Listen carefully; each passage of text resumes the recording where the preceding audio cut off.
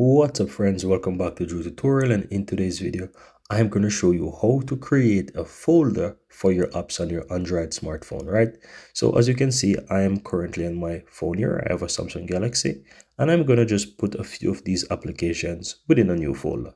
So in order to do that, you want to simply tap and hold on application for the moment and then you want to click on select.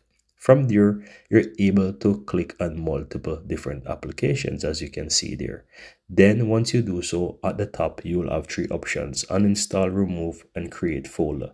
So you simply want to go ahead and click on create folder. Those applications will now go into a folder, but you need to give the folder a name. So just simple tap into that unhighlighted, unhighlighted folder name there, and you can just call it whatever you want. I will call it test and then all you have to do now is just simply tap off and it will be created. And as you can see i have a new folder here by the name of test. And when i click on it it now has all those applications. And that's all there is to it. Very easy and very simple